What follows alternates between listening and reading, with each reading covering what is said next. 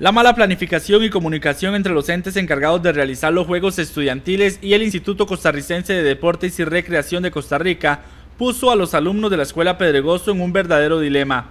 Ellos ganaron el pase a los Juegos Centroamericanos al coronarse campeones del tenis de mesa estudiantil, pero ese certamen se desarrolla en la misma fecha de los Juegos Nacionales. Decirles que la Escuela Pedregoso meritoriamente este, y con, humildad decimos que obtuvo eh, dos medallas de oro eh, obtuvimos eh, de plata y, de bronce y la verdad que fue un desempeño aceptable de parte de la institución y de los atletas.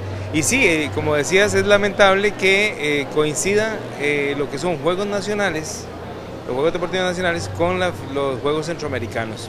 En este caso tenemos dos atletas, Joan Núñez y, y, el otro muchacho Isaac Gómez, que son ya tienen su, espacio, digamos, eh, para representar a nuestro país, pero existe una coincidencia con los Juegos Nacionales, así que ellos van a tener que, decidir. Eh, yo esperaría que, que sea la decisión más acertada para ellos, porque es una experiencia también interesante ir a representar a nuestro país fuera de las fronteras.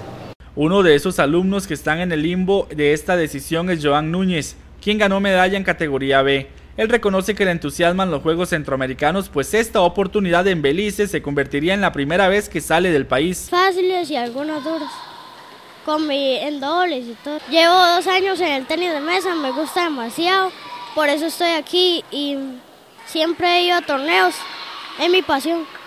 Muy linda, demasiado hermosa. Sería mi primera vez que salgo del país. Ante este dilema, en la escuela Pedregoso dicen respetar la decisión que tomen los menores, pues eso forma parte también del crecimiento que pueden tener en el ámbito profesional con la toma de decisiones. Eh, la escuela en ese sentido debe ser muy respetuosa porque pues nosotros le abrimos la posibilidad al estudiante para que se convierta en un atleta y este pues ellos van a decidir, yo pienso que tal vez con orientación de los compañeros del comité cantonal o de sus mismos padres de familia, porque aquí lo interesante es que el niño haga lo que él realmente quiere hacer. Si quiere representar a nuestro cantón o quiere representar a nuestro país, que sea una decisión que a futuro no, le, no, se pueda lamentar él, que no diga, bueno, lástima porque no representé a mi país en, en Belice o, o en X lugar, o por qué no representé a mi cantón en Juegos Deportivos Nacionales. Así que yo esperaría que sea una decisión de ellos principalmente y que les va a ayudar en la madurez también como atletas que en algún momento y espero que a futuro tengan esa opción de decidir eh, de, de merecer tal vez esa representación para nuestro país o para nuestro cantón. Lo que sí lamentan es la mala planificación con estos torneos. Una planificación que ahora tiene a varios atletas decidiendo entre representar al cantón o representar al país.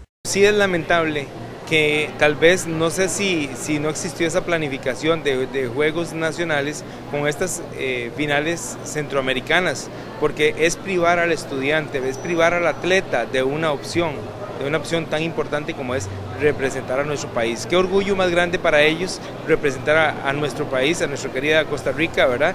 Pero es lamentable también que tengan que poner en este momento si represento al cantón o represento al país. La final de tenis de mesa de Juegos Estudiantiles se desarrolló la semana anterior en Pérez Celedón.